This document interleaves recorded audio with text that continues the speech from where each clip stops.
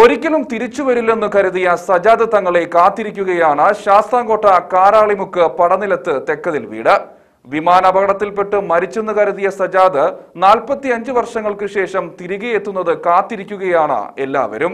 സജാദ് ജീവിച്ചിരിപ്പുണ്ടെന്ന് അറിഞ്ഞ് നാട്ടിലേക്ക് കൊണ്ടുവരാനായി ഇളയ സഹോദരൻ മുംബൈക്ക് തിരിച്ചു. ഞാൻ ജീവിച്ചിരിക്കുന്നതിന് എന്റെ മോനെ ജീവനോടുണ്ടെങ്കിൽ എന്നെ കാണിക്കണേ എന്നുള്ള വിചാരം നാൽപ്പത്തി അഞ്ച് വർഷങ്ങൾക്ക് മുമ്പ് ബോംബെയിൽ നിന്നും മദ്രാസിലേക്ക് പോയ വിമാനം തകർന്നുണ്ടായ അപകടത്തിൽ ശാസ്താംകോട്ട സ്വദേശിയായ സാജിദ് തങ്ങൾ മരിച്ചെന്നാണ് എല്ലാവരും കരുതിയിരുന്നത്.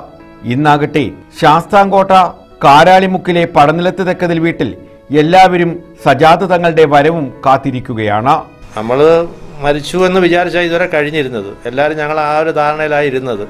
അപ്രതീക്ഷിതമായാണ് കഴിഞ്ഞ ആഴ്ച പനവേൽ ഒരു ആശ്രമത്തിൽ നിന്നും രണ്ടുപേരുടെ തെര നമ്മുടെ പള്ളി വന്ന് അന്വേഷിക്കുകയും പുള്ളി ജീവിച്ചിരിപ്പെന്നുള്ളൊരു അറിവ് കിട്ടുകയും അതിൽ ഞങ്ങൾ അത്ഭുതപ്പെട്ടു പോയിരിക്കുകയാണ് ഇപ്പോൾ എല്ലാവരും.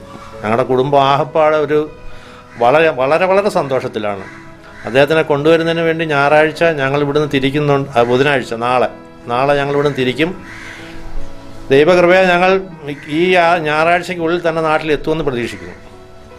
പിന്നെ അദ്ദേഹത്തിനെ പറ്റി പറയാനാണെങ്കിൽ ഇവിടെ നാട്ടിൽ നിൽക്കുമ്പോൾ തന്നെ വളരെ ക്ലിയർ ഉള്ള ഒരു മനുഷ്യനായിരുന്നു. അങ്ങനെ പഠിക്കാനും വിദ്യാഭ്യാസവും എല്ലാം നല്ല മിടുക്കാനായിരുന്നു. പുള്ളി ഇങ്ങനൊരു ഇതിൽ പെട്ടതിൽ ഞങ്ങൾക്കെല്ലാം വളരെ ദുഃഖമുണ്ട്. അതിന്റെ അതിനെപ്പറ്റി പറയാതിരിക്കുന്നതല്ല കാരണം അത്രയ്ക്ക് ദുഃഖത്തിലാണ് ഞങ്ങളിപ്പം. ഇപ്പം അതിന്റെക്കാൾ ഇരട്ടി സന്തോഷത്തിലുമാണ്. എന്തായാലും ഞായറാഴ്ച ബുധനാഴ്ച ഞങ്ങൾ ഇവിടെ തിരിക്കും. നാളെ നേരിട്ട് കാണാൻ ദൈവം അനുഗ്രഹിക്കട്ടെ എന്ന് പറയും.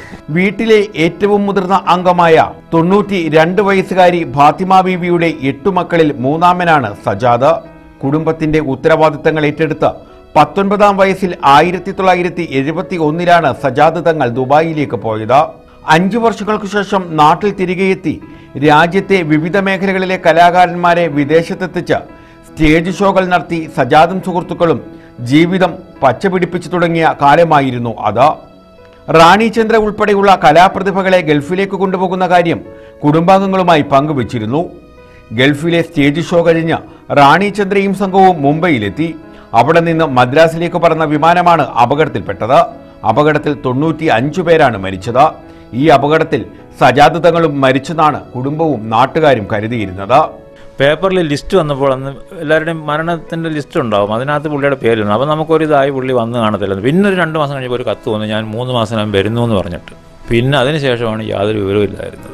അപ്പോൾ പുള്ളി ജീവിച്ചിരിപ്പുണ്ടെന്നുള്ളത് അന്ന് നമുക്ക് അറിയാം. പ്ലെയിൻ ക്രാഷിൽ എന്തായാലും പുള്ളിക്കൊന്നും പറ്റിയിട്ടില്ല എന്നുള്ളത് കാരണം ആ കത്ത് വന്നപ്പോൾ നമുക്ക് മനസ്സിലായി. പക്ഷേ പിന്നെ നാടുമായിട്ട് പുള്ളി ബന്ധപ്പെട്ടിട്ടില്ല. അപകടം നടന്ന് മൂന്ന് മാസം കഴിഞ്ഞപ്പോൾ ഉമ്മ ഫാത്തിമ ബീവിക്ക് ഒരു കത്ത് എത്തി. അത് സജാദിന്റെതായിരുന്നു. താൻ നാട്ടിലേക്ക് വരുന്നെന്നായിരുന്നു കത്തിൽ രേഖപ്പെടുത്തിയിരുന്നത്. എന്നാൽ നാൽപ്പത്തി അഞ്ച് വർഷം ഉമ്മ കാത്തിരുന്നു. എന്നിട്ടും സജാദ് എത്തിയില്ല. ജീവിച്ചിരിപ്പുണ്ടോ മരിച്ചോ എന്നോ ആർക്കും അറിയില്ലായിരുന്നു. എങ്കിലും എല്ലാ രാവുകളിലും ആ ഉമ്മ മകന്റെ വരവ് കാത്തിരുന്നു. എന്റെ വിഷമം കൊണ്ട് എനിക്ക് സങ്കടം കൊണ്ടും സംസാരിക്കാൻ പോലും വയ്യാത്ത ഒരു സ്ഥിതിയിലിരിക്കുക അതുകൊണ്ട് എത്രയും പെട്ടെന്ന് ഇവിടെ എത്തിക്കാനുള്ള ശ്രമങ്ങൾ നടത്തി തരണേ തമ്പുരാനെ. എല്ലാ ആളുകളും പ്രാർത്ഥിക്കണേ. ഞാൻ ഉറക്കമില്ലാതിരുന്ന് രാത്രി പ്രവർത്തിക്കാന്ന് പ്രാർത്ഥിക്കാന്ന് എനിക്ക്. ഞാൻ ജീവിച്ചിരിക്കുന്നതിന് മുമ്പ് എന്റെ മോനെ ജീവനോടുണ്ടെങ്കിൽ എന്നെ കാണിക്കണേ എന്നുള്ള വിചാരം. സഹോദരങ്ങൾ പലയിടത്തായി അന്വേഷണം നടത്തി ഒരു ഫലവും ഉണ്ടായില്ല. മകനെ കാണാതെ ഒൻപത് വർഷം മുമ്പ് പിതാവ് യൂനിസ് കുഞ്ഞ് മരിച്ചു. ഒരാഴ്ച മുമ്പാണ് അപ്രതീക്ഷിതമായി രണ്ടുപേർ ശാസ്താംകോട്ടയിലെ വീട്ടിലെത്തിയത്. സജാദ് തങ്ങൾക്കൊപ്പമുണ്ടെന്നും വീട്ടിലേക്ക് വരാൻ ആഗ്രഹിക്കുന്നതായും അവർ അറിയിച്ചു. നാലര പതിറ്റാണ്ട് മുമ്പ് ജീവിതത്തിൽ നിന്ന് അറ്റുപോയ ആ പ്രതീക്ഷകൾ കുടുംബത്തിലേക്ക് ഇതോടെ തിരികെ എത്തുകയായിരുന്നു. പനമേലുള്ള സീൽ എന്നൊരു ആശ്രമം പുള്ളിക്ക് സുഖമില്ലാതായപ്പം അവിടെ പുള്ളിയുടെ സുഹൃത്ത് എത്തിക്കുകയും അവരുടെ പരിചരണത്തിലാണ് പുള്ളി വീണ്ടും ജീവിതത്തിലേക്ക് തിരിച്ചു വരികയും നാടുമായിട്ട് ബന്ധപ്പെടണമെന്ന് പറയുകയും അങ്ങനെയാണ് അവിടെ നിന്നും ഇവിടെ വന്ന് രണ്ട് ആൾക്കാർ. അവർ അടൂർ ഉള്ളതാണ്. അവരാണ് ഇവിടെ വന്ന് നമ്മുടെ പള്ളിയിൽ വന്ന് ബന്ധപ്പെട്ട് പുള്ളി പറഞ്ഞ വിവരം അനുസരിച്ച് നമ്മുടെ വീടും അഡ്രസ്സും കാര്യങ്ങൾ പുള്ളി കൃത്യമായിട്ട് പറഞ്ഞു കൊടുത്തിട്ടുണ്ട്. അതനുസരിച്ചാണ് അവരിവിടെ വന്ന് ബന്ധപ്പെട്ടതും. നമ്മളുമായിട്ട് പിന്നെ ഫോണിൽ നേരിട്ട് കണ്ട് സംസാരിച്ചതും. ഇപ്പോൾ പതിനൊന്ന് ദിവസമായിട്ട് ഞങ്ങൾ സ്ഥിരമായിട്ട് സംസാരിച്ചുകൊണ്ടിരിക്കുക എല്ലാവരുമായിട്ടും. അങ്ങനെയാണ് ഇപ്പോൾ തിരിച്ച് നാട്ടിൽ കൊണ്ടുവരാനുള്ള എല്ലാ കാര്യങ്ങളും ആസൂത്രണം ചെയ്തിരിക്കുന്നത്. പുതുതലമുറയ്ക്ക് സജാദ് തങ്ങളെ അറിയില്ല. ഇളയ സഹോദരന്മാരായ മുഹമ്മദ് കുഞ്ഞ് അബ്ദുൾ റഷീദ് എന്നിവർ സജാദിനെ കൂട്ടിക്കൊണ്ടുവരാൻ മുംബൈ പൻവേലിലെ സീൽ ആശ്രമത്തിലേക്ക് ചൊവ്വാഴ്ച പുറപ്പെട്ടു. കാത്തിരിക്കുകയാണ് എല്ലാവരും. സജാദ് തങ്ങളുടെ വരവിനായി. News bureau Chavara.